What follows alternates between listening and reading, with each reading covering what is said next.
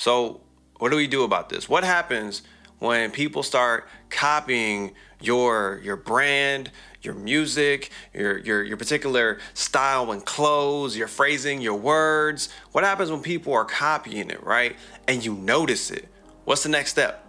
Well, we're going to talk about it today. So let's go ahead and get into that. Go ahead and hit that like button, that subscribe button, and the bell. Let's get to work. Salute to that.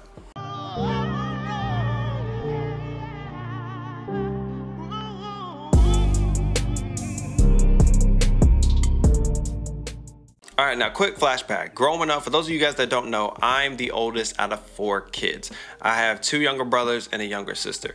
And when you're the oldest, for those of you that are the oldest, you know that generally your siblings are always copying things that you do and it could be like the smallest of things it could just be like yo i'm trying to put on a, a gray uh, shirt then they want to put on a great shirt. I want to go downstairs and grab me a snack and sit down and watch some cartoons. They want to do the same thing. Man, I'm trying to go outside and go to the playground, maybe go play ball. Now they want to go do it just feels like no matter what I tried to do, they were trying to copy your boy.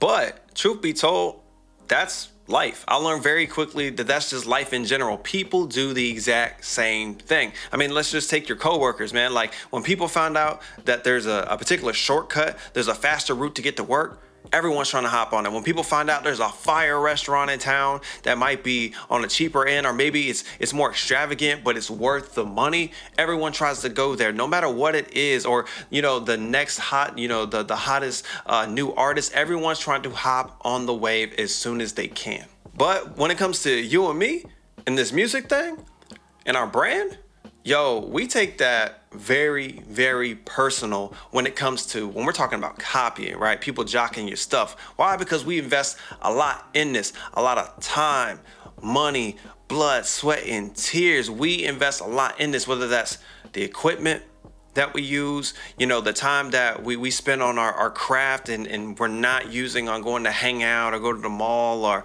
or going to parties, whatever it is we are putting in the time, whether it's us focusing on particulars on our album cover or paying attention to the font uh, in our merchandise or even watching tutorials and videos and trainings, right? Webinars just to be better and better and better at what we do. So we take things very, very personally because it's our art, it's our craft. And as creatives, sometimes we catch other people on our feed copying our style our language, and even sometimes our ideas.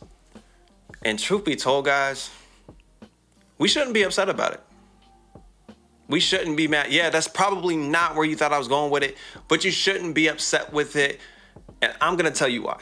Okay, so reason number one is why would you get upset when something that you do inspires or motivates someone else? Isn't that the point anyway? Especially considering the fact that that's you in a nutshell. All of us growing up, when you were a kid, if you were someone that like grew up watching athletes, there was probably one or two particular athletes that made you feel like, man, I want to do that. I, I, believe I can do that. Maybe growing up, you saw a particular band or a particular entertainer, rapper, singer, producer, whatever, and you're like, yo, I want to do that. Actor, actress, whatever it is, you said, I wish I could do that. You were inspired by them, you were motivated by them. So when other people see you, see your content, see your talent, and they get inspired to do similar things that you're doing, why get upset about it? Reason number two, and why you really shouldn't be that frustrated, is because they'll always be a step behind. The people that are copying you will always be a step behind because you're the original. You're the person that that that made those first couple steps first. Just think of it from a trendy perspective, right? What would you rather be? Would you rather be the person that is doing the latest trend or would you rather be the person that's setting the trend? And the final reason why you shouldn't be upset is because by them copying you, they're really giving credit to your greatness. I mean, seriously, they're they're saying you're awesome, you're great. They see that you're talented because they're copying you. When was the last time that you copied someone that you didn't believe was successful? Seriously. They're doing it because they see greatness in you. They see awesomeness in you. They see dopeness in you. So why be upset? Now, listen, guys, don't get me wrong. As I said earlier, I understand that there are influencers and people that have way bigger platforms than me, and they've certainly, you know, uh, copied ideas and things that I've done, uh, concepts that I've done in my videos, right? And I can tell, but I'm okay, and I'm not even that frustrated about it. You know why? Because the point of me doing the videos is to help people like you. And if so, if someone from that has a bigger platform or more people essentially repeats my message and those people get helped, I'm happy with it. I'm cool with it. And I know that's where many creatives and artists struggle. They're like, well, if I if I start something and then people copy it, they're they're they're stealing from me and I'm not getting my due just credit. And it's like, yo, at the end of the day, no one really cares about that. I'm not saying if someone stole your lyrics verbatim that you don't need to go get your money because you do know you do need to go get your money if people out here stealing, stealing your lyrics stealing your logo stealing that type of stuff like your your property then yeah go handle your business get you a lawyer go go handle that, right? Maybe you use particular themed colors on your Instagram or your TikTok or whatever, and then all of a sudden other artists around you are making similar type of posts.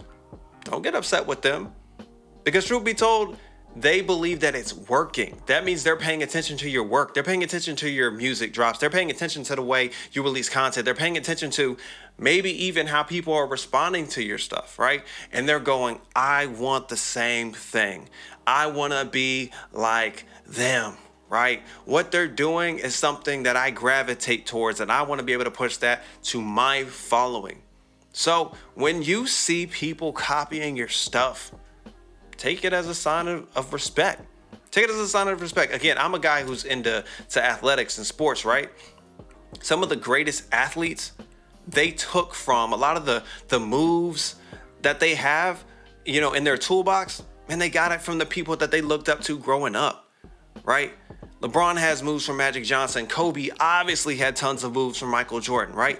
And that happens across the board in almost every industry. So don't get offended if you notice people are copying you. Just take it as a sign of respect. You feel me? How you guys feel about this video? I mean, y- y'all go ahead and let me know. And as always, go ahead and hit that like button and the subscribe button so you guys get notified every time I drop a new video. Also, if there's a particular topic you want me to talk about, go ahead, leave it in the comment section, and I will get to that ASAP. And as always, man, be you, enjoy your life, and live authentic. Salutes to that, and I'll catch y'all later.